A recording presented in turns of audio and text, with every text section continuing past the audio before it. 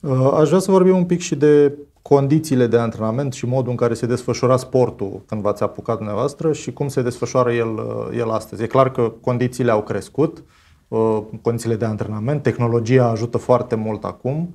Când v-ați apucat, cum, era, cum arăta o sală de sport atunci? O sală de box, în principal.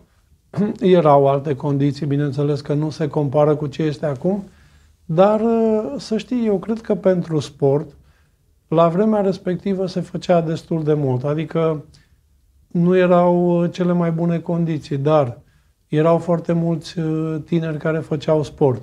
Era o concurență mult mai mare și fiind concurență, normal că fiecare dintre cei care își doreau să câștige erau mai, uh, mai buni.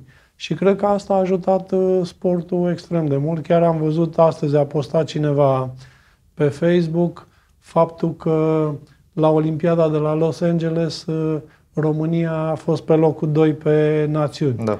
Asta spune extrem de multe. Din păcate, acum suntem mult, mult în spate și normal că se vede că nu s-a făcut uh, ce trebuia pentru sport.